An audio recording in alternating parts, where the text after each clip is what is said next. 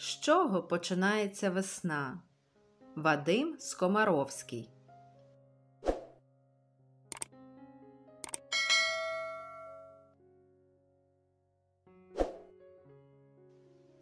Справді, з чого починається весна? Може, з проліска на тихому осонні, з пісні жайвора дзвінкої, мов струна, чи з мурашки, що проснулась на долоні? Вже з-під снігу виповзає борозна, і ріка уже звільняється від криги. З тепловію починається весна, з перших крапель і тривалої відлиги. Пропливає угорі гусиний клин, і над лугом знову чайка квилить кряче.